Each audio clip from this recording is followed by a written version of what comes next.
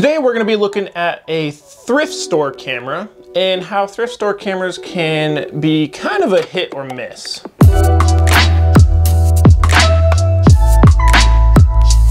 Hey there, welcome back to my camera collection.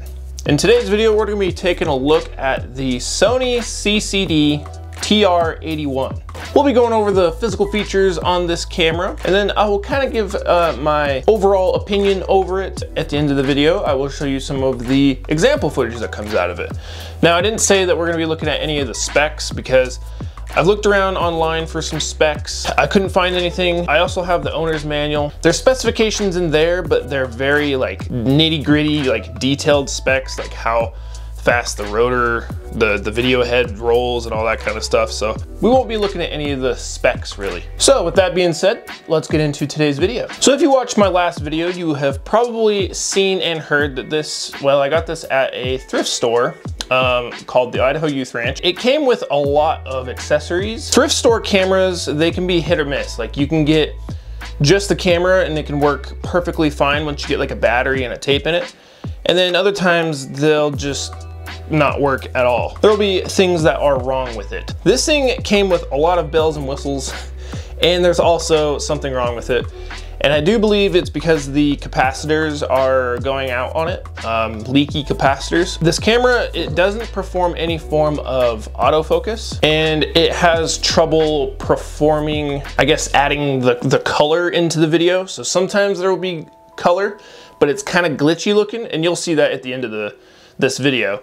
But most of the time it's just like black and white footage. So that just means that the capacitors are going bad on it. That's because this camera is from 1991. So this guy is actually kind of a professional, or I guess uh, more of a prosumer kind of camcorder. It is a video high 8 and you can actually switch between video 8 and Hi8. But it actually has a lot of manual and like kind of professional features on it. And we'll get into that here in a minute. But uh, when I seen it, man, I had to hurry and snag it because I, I figured that it would be a, a great camera to check out, but unfortunately it has those issues. Another weird issue that, that it had, and I have another camera that had a very similar issue, but it was like a lot worse.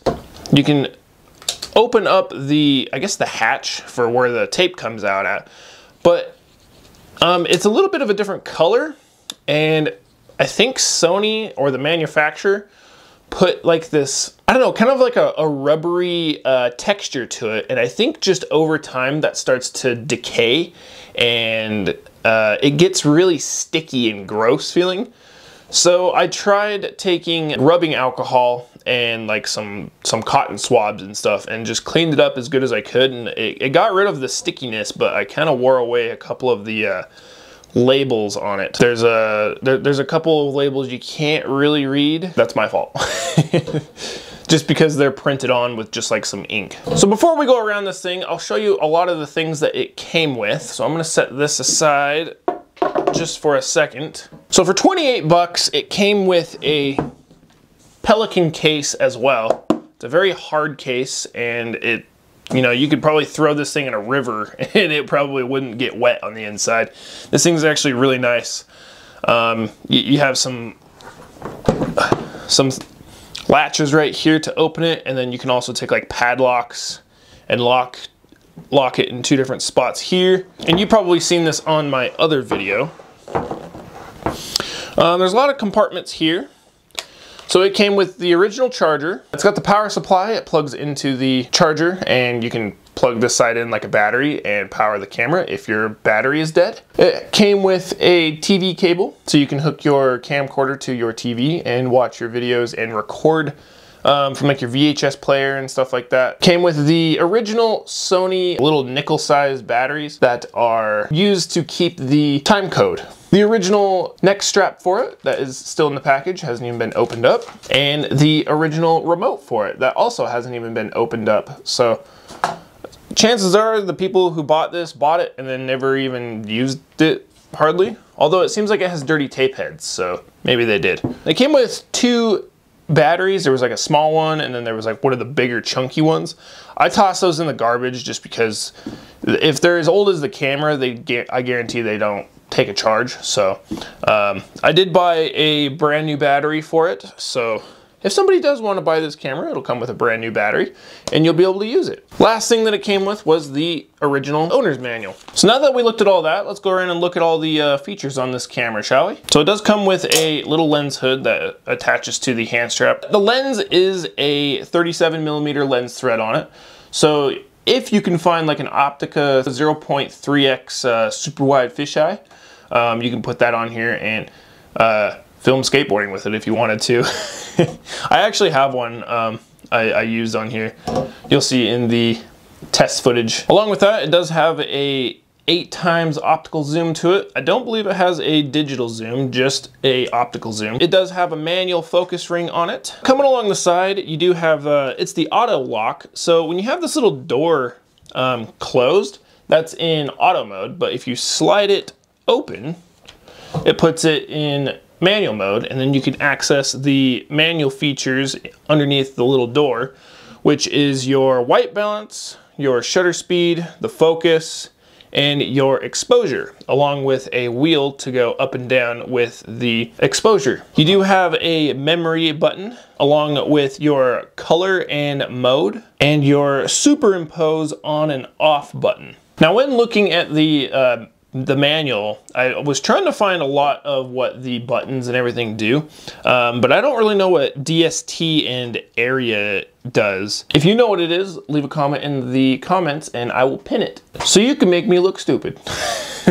you got your date button along with the time and your battery release switch here. So you push that in and you can slide the battery to the left and it'll pop out. And then just below that, I think this is actually kind of rare to find, but this camera came with a bunch of little plugs and they go into all of the external plugins, if you will.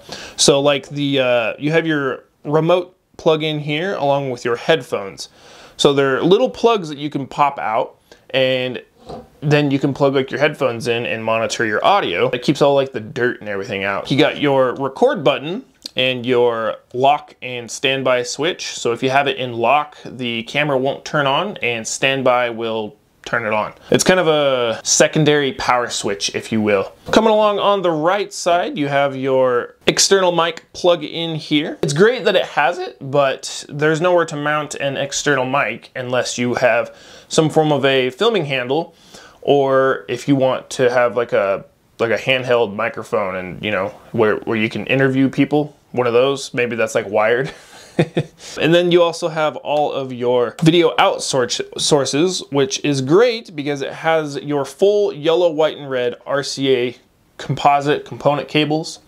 Um, and then it also has S-Video, so you can get a better video image out of it. I actually didn't know S-Video existed back in 1991. I guess it does. Um, you do have your infrared sensor here, so you can uh, use your wire, the, the wireless remote for it. That is the uh, receiver for that. And then it also has a stereo microphone. So this thing is pretty high tech for 1991. And you can also switch it between, you have a built-in mic uh, switch up here and you can switch it from wind or standard mode. So um, in wind it will hopefully, in theory it's supposed to block out the, uh, the, the sound of wind uh, blowing in the mic. Along the top you have your power switch. So if you switch it to, I guess to the front of the camera, it is uh, record mode, in the middle is off, and switching it to the back of the camera is uh, VTR mode or playback mode. And then you also have your edit search buttons right here, along with your playback buttons. So your rewind, play, fast forward, stop, pause, and record. The record function is for like plugging it into your TV and uh, recording footage from like your, your VCR or, or, whatever. Then you also have this little screen right here that tells you how much uh, battery you have left and how far along on the tape you are. It also shows that you are uh, recording or not recording. So it'll have like the little little circle if you're recording and then it'll have like the two bars if you're if it's stopped or not recording. These are the a couple buttons that I uh, rubbed the uh, indicators off or the uh, the labels off. Um, but one is a reset and then I think the other one um, has something to do with the the date and time I think. I don't remember. You do got a, it's a nice rocker zoom, but I, it is just a, um, it's not a variable speed rocker zoom. It's just one speed uh, in and out. And then on the side right here, you have a little switch that you push and you can pop the, the old hood up and see what's under the, uh, the old engine bay. Under here, you have your eject button for your tape, the little blue button. So um, if you ever do get one of these cameras and you're like, well, where the hell do I eject the tape? Yeah, you gotta make sure you uh, pop, the, pop the hood on the bad boy and uh, eject the tape that way.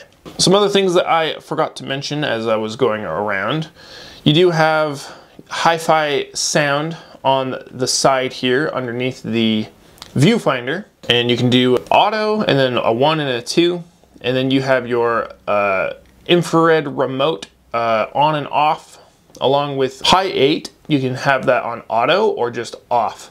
So pretty much you can switch it between video 8 or Hi8 which I definitely recommend Hi8 and then if you want to do some form of editing um, through like your LANC uh, remote plugin or through uh, one of the old school uh, editors, uh, you can turn that on if you want. There's a little switch to turn that on or off.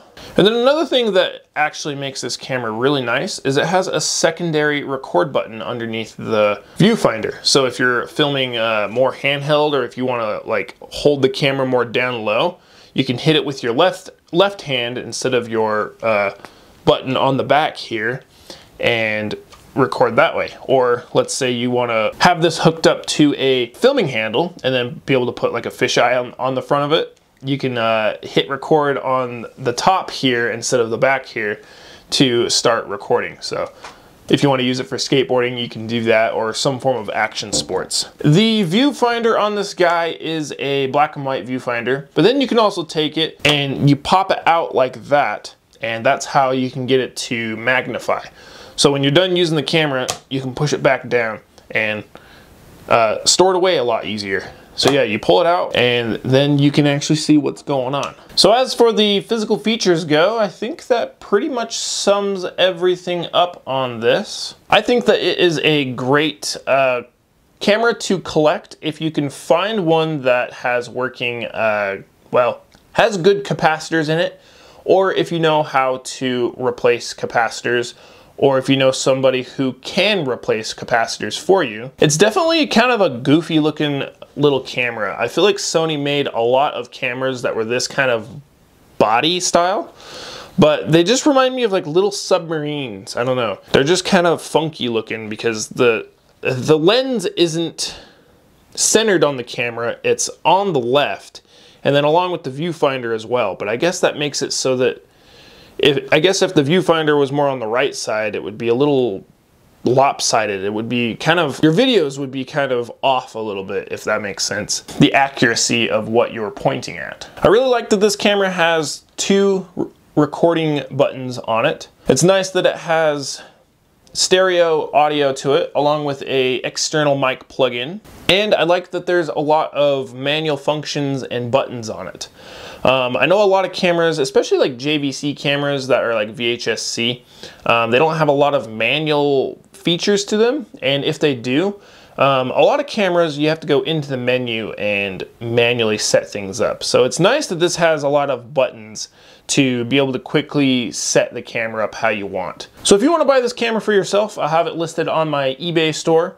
Um, it'll come with the, well, the camera. It will have everything that is in the Pelican case as well, along with the Pelican case. If you have one of these or a similar camera for yourself, I'll make sure to add tapes, uh, batteries and chargers, uh, video converters, and if I can find a good fisheye for one of these, I'll add that as well. And any other kind of good accessories that I can think of that will uh, make this camera work a little bit better and more easy. And I just want to say thanks for everybody for uh, supporting the channel for the past two, two years? No, it'll be two years in September, so about a year and a half. You know, I would really love to go full time with this channel. I just appreciate everybody actually watching the videos and interacting with me, leaving comments. Everybody's always so nice. Even if I get something wrong on a spec or if I say something wrong, you know, people generously correct me. So thank you for that. And thanks to everybody who shops through Amazon through my links in the description. They are affiliate links, so Uh, if you do buy anything from Amazon through those links, I do get uh, a little bit of kickback from that. I use that money to get more cameras to produce more content for everybody out there. I appreciate the uh, the generosity and people shopping through Amazon through my affiliate links. And along with that, you can also support my channel by buying the cameras that I actually do reviews on. Every time I make a video, um, after I'm done with everything, I post it up on eBay, pretty much let anybody out there uh, snag it. So I also use the, uh, the money that I make from cameras, um, selling them on eBay, that goes back into getting more cameras as well. Every once in a while I'll buy some things here and there that I need for the, the channel, like my mic system that I've got, um, I've got some new lights. Uh, I just bought a brand new fisheye for filming. None of it really goes to waste. I just want to thank everybody out there for supporting the channel. So with all that being said, uh, shall we check out some of the, uh, the video footage for it? Hopefully the audio works in it as well. So if not, hopefully it's not the, the worst video footage you can, you, you'll see. So let's check it out.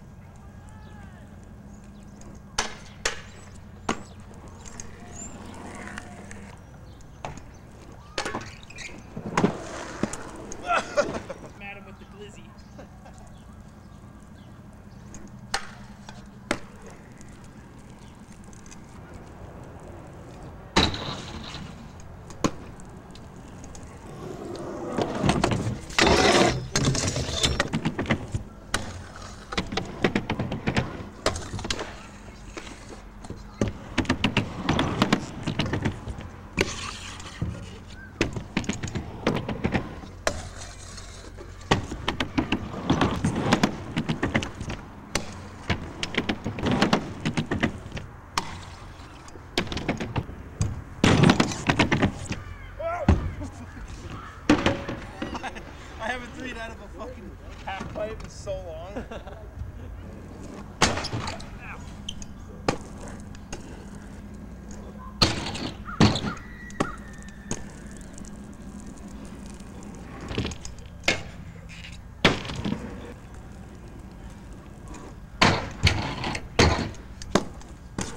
So thank y'all for watching. If you enjoyed this video, make sure you leave a like.